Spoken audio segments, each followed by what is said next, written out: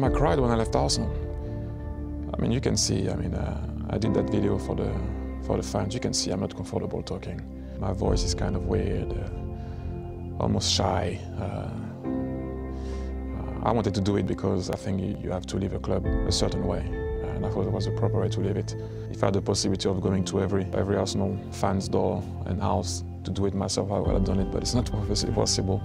But I wanted to live in a proper way, a proper manner, the club that I love. It was hard. I cried when I left.